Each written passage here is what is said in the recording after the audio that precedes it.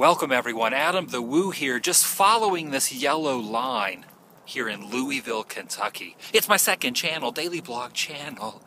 I'm in a cemetery right now. It's freezing cold in this cemetery. Here on the daily, woo. Why am I following this yellow line? And why am I freezing? The reason I'm freezing, because I don't have a jacket on. All I have is this little hoodie. I need a big thick coat, but all I have on is this hoodie and no gloves, and I am freezing cold in this cemetery out here in Louisville, Kentucky. It's so cold. I'm following this line. They've drawn a line on the ground leading to the grave of one of Kentucky's favorite sons. If you've ever eaten fast food, then you know who I'm talking about. I'm going to tell you in a second, but I know you already know because you've probably already seen up here where I posted the title of the video. But keep me entertained and pretend that you don't know, and let's play a guessing game. Kentucky's favorite son, fast food. You know who I'm talking about, and if you don't, let me give you some information right here. Information. The premises are under surveillance by private security personnel. They have security out here at this cemetery. Here's a piece of paperwork letting you know where I am. The Cave Hill Cemetery. Cave Hill Cemetery, right there. That's where I am. Let me put the information back so that other people that come out here can be informed. Right there. Speaking of security, when I came in the front entrance and I parked my van over by the grave I'm going to show you in a minute, there was actually a security guard asking what I was doing out here. And when I told him I was coming to this particular grave, he said, okay, that's good. We've actually had some thieves out here recently that have stole some of the bronze toppings to some of the cemetery pieces. Some of these over here. We have some thieves out here. Can you believe people will come to a cemetery and actually steal things off the gravestones? And the markers. That's definitely a shame. Now they have security at the front gate coming into the cemetery, but you are allowed in here. All you have to do is just let them know where you're going. Follow this line till it ends up. It ended, which can only mean one thing. That's right. Kentucky fast food. You know who it is. I'm getting hungry just thinking about it. I've never been hungry in a cemetery before. There's a first time for everything.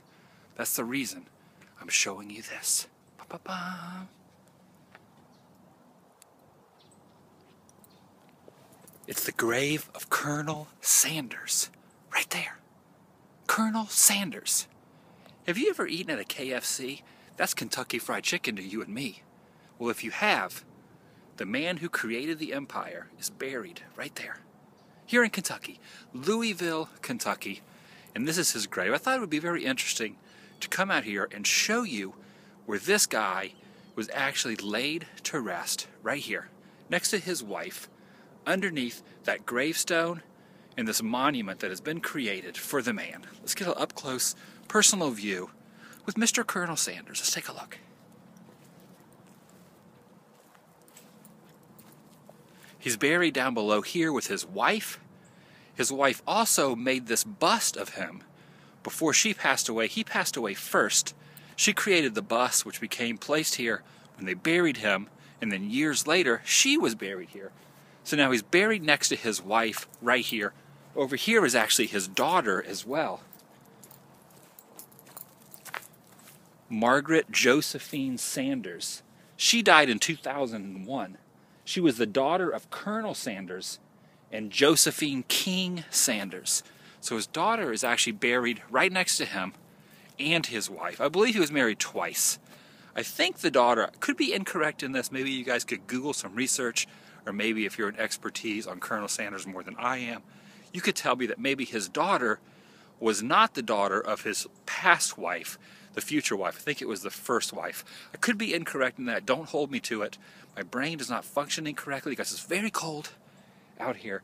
But I thought since I was in the Kentucky area, Louisville area, passing through Louisville, Kentucky, that I would stop off here and show you the grave.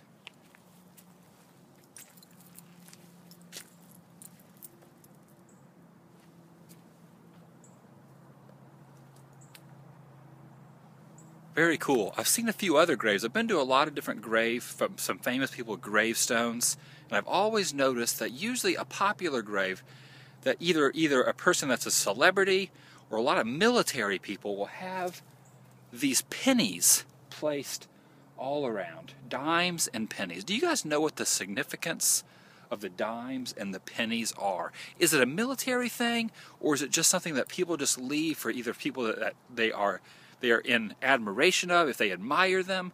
I'm really curious about what the pennies mean. I visited Jim Varney's grave about a year ago, if you remember correctly. He was a big childhood, um, I was a big childhood fan of his, one of my idols, Jim Varney.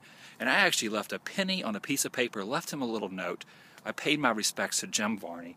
And you can see people here have paid their respects to Colonel Sanders as well. Also, I was gonna wondering, I was curious, man, I really cannot functionally think correctly. It is so cold out here. But I was curious, do the pennies have anything to do with these symbols? What are these symbols? Do you guys know what those are? Leave some comments down below if you know what signals those are. I really have to say, I have not communicated correctly in this vlog very well because it is freezing. My lips are numb, my hands are numb, so I probably probably am not very coherent today, but it doesn't matter. Wanted to show you this. The grave of Colonel Sanders. Right here. Pretty cool, pretty cool stuff. Pretty neat. Oh, also going to let you guys know, did you know that Colonel Sanders was basically flat broke till he was in his mid 60s? I think he was 1965-ish around there before the KFC empire took off. So just imagine that. He was at retirement age and he was flat broke and then all of a sudden we have the colonel. Everybody knows as the colonel. I mean, he existed for 65 years before that. But what you and I know as the colonel did not begin until retirement age for most people. So just think about that. Never get up, give up, never get up or give up or get down. If you're going to get down, make sure you get up, but don't give up on your dreams because you might be an old man, a 65 year old guy, before all of a sudden you become a franchising fast food empire guru like the Colonel. Pretty cool right here. The Colonel. I'll let you guys go. Check down below for my t shirts. I'm going to get back out of here. I should probably follow that back out there, back down that line. They've actually painted a line. I guess so many people love them out here. They painted a line on the ground. All right. See you guys later. Goodbye.